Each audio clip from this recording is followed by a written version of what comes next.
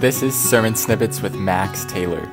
Our goal is to explain the Bible and show how its truths apply to everyday life. Let's hear what God's Word has for us today. We're continuing to look at God's work in each of our lives as we read James chapter 1, verses 22 through 27 today. So hopefully, we're going to finish the first chapter of this book. And I'm going to go ahead and start reading in verse 22 of James chapter 1. The Bible says, But be ye doers of the word and not hearers only, deceiving your own selves.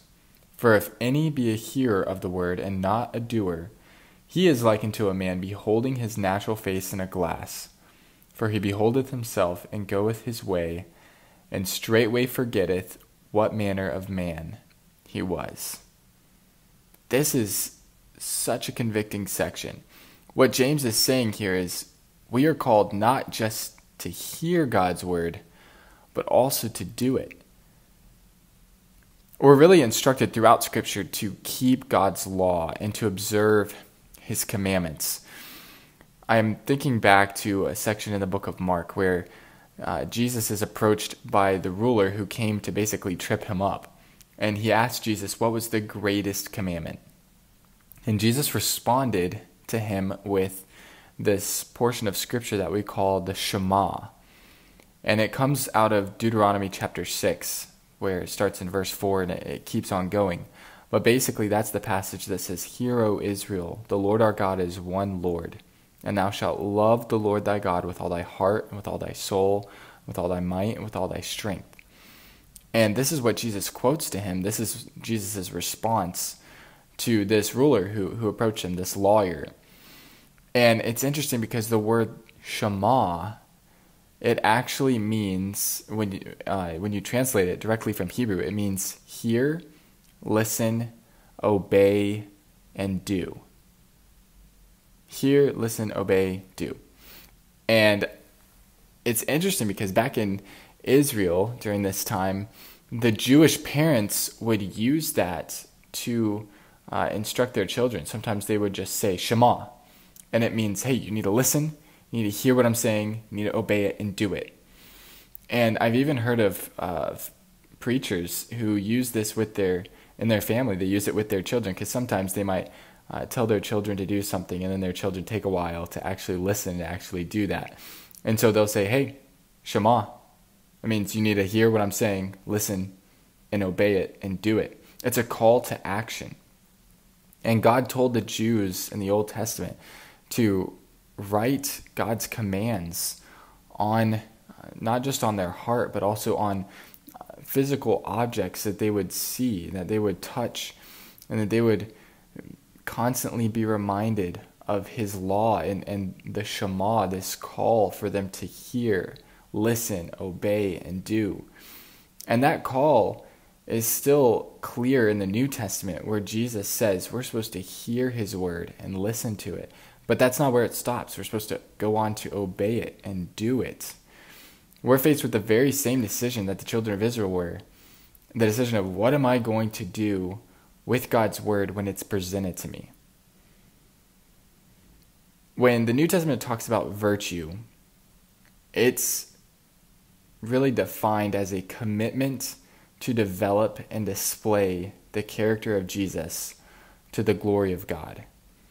Virtue is our decision that we're going to follow God no matter what the cost is. It's that we've already counted the cost and we're determining to display the attributes of the Lord to those around us. So basically, it's the decision. We, we already have to make the decision that we're going to do what God's word says. It's it's that heart attitude of, Lord, whatever you say in your word, I will do it. It comes with a plea to, to God to reveal any sin in our life that's not consistent with who He wants us to be. And we have to have that desire that God would show us what's not right in our own hearts so that God can change us from the heart and that we'll start to do what He wants us to do. I don't know about you, but I want to do what God says. I don't want it to just be something I hear. I don't want His Word to be something that I read. I want to really be changed by His Word. And that's what this chapter is talking about. This is a work of God. He says, But be doers of the Word and not hearers only. Don't just be a hearer, be a doer. Jesus said, That's how I can tell that you love me, by your obedience to my word. That's what Jesus says. And notice that when we only listen to God's word and we don't apply it, we are deceiving ourselves.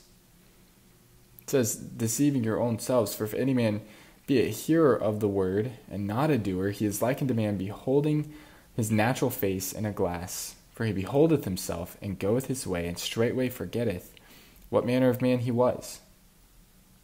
Because when we behold our reflection, we pay no attention to the blemishes and the marks and the impurities that are revealed, but we just go our way and we're not going the way that's prescribed to us. I think that's interesting.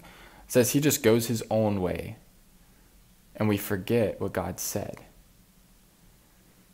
That's that's terrifying that we would hear God's word that we would see problems in our life, but we would just go our own way, that we would choose to go our own way. And that's where the discussion comes back to faith.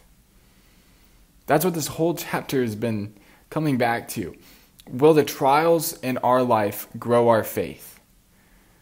Will we ask for wisdom in faith, doubting nothing? Will we abstain from temptation in faith that God's way is better?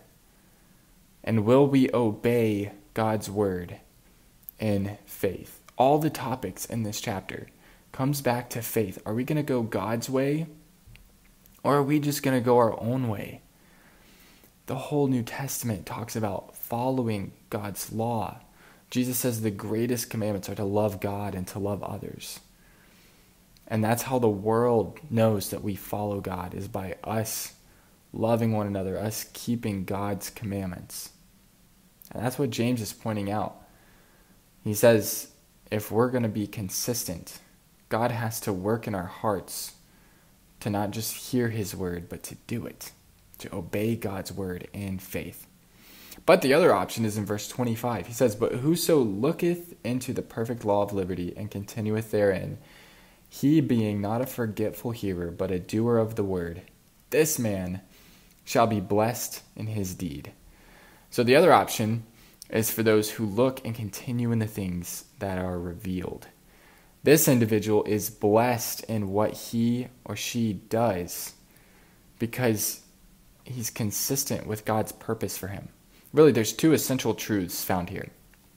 First, God's word is the final right answer. Jesus said in John 17 17, Sanctify them through thy truth. Thy word is truth. So God's word is the final right answer. And second, God's purpose for me is Christ likeness.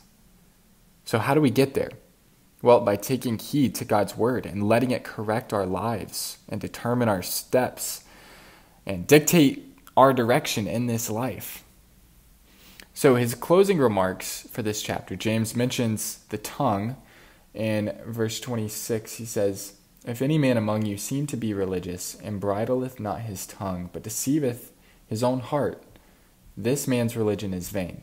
And we're going to come back to this in chapter 3, so I won't say a whole lot about the tongue right here. But then also, he says, he describes real faith. He says, Pure religion and undefiled before God and the Father is this to visit the fatherless and widows in their affliction and to keep himself unspotted from the world. If you want to see Christianity in action, it's found in the person who talks to a lady who just lost her dad. It's found in the person who sets aside their time to visit those in the nursing home. It's found in the person who doesn't partake in worldliness. If you want to see real Christianity. That's the real thing. May God help us as we try to live out His calling for each of us as His children.